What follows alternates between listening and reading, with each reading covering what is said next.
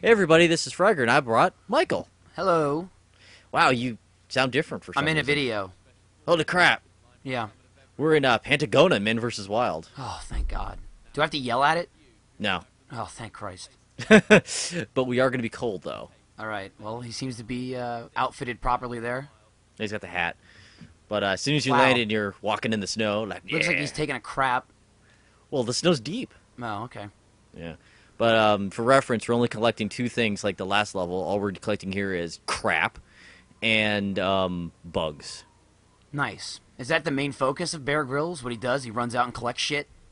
Kind of. It seems like that's what this game kind of tells me. It's like Bear Grylls, all he does is collect like an oil drum. Oh, nice. He's, And- he's cleaning up. Yeah, and collecting bugs. This these two are kind of really close to natural progression. Now the bugs are very hard to find. They're tiny. As bugs usually are. Yes. Yeah, and you can see it just there it says investigate. So I'm kind of like, oh, there it Mm-hmm. is. But you cannot see these wicca whatever the fuck they're called. They begin with a W. Whatever. Because they're so small. You see? Exactly. And they're in the ice usually, actually, too. So they're even harder to see. Oh, maybe you should bring him a little buggy blanket. Oh, warming them up. Uh huh. Yeah. But uh, this one you gotta be kind of careful of. You want to get to where these uh, Bear Grylls experience orbs Oh, are, nice. And then you'll see a little investigate there, and oh, we got another one. Wow. This is this what the show is like? I've never seen it. Is this That- what he does? Does he collect experience orbs? Yeah, he does. He's walking around like, "Where's this orb?" That's grabs it. awesome.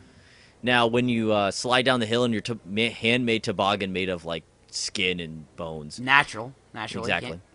As soon as you land, you're gonna be facing one direction. Turn around, you'll find that keg, and then after you do jumping jacks to warm yourself up, Ooh.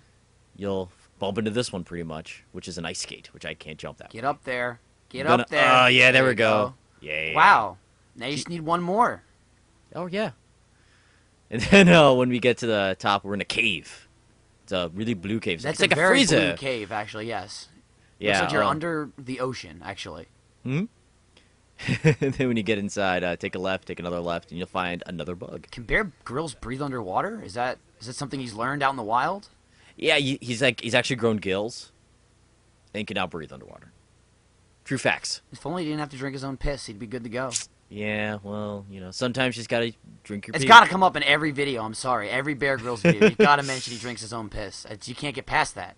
You, can't because it's it's yellow. Most of Awkward yes, silence. Most of the time, it is. it depends what time of the day it is. You know. Uh oh. Don't get Uh. too graphic. There we go. But uh, you this one's actually another really hard bug to find. I'm like, where's the bug at? I'm like, oh, investigate. Found it.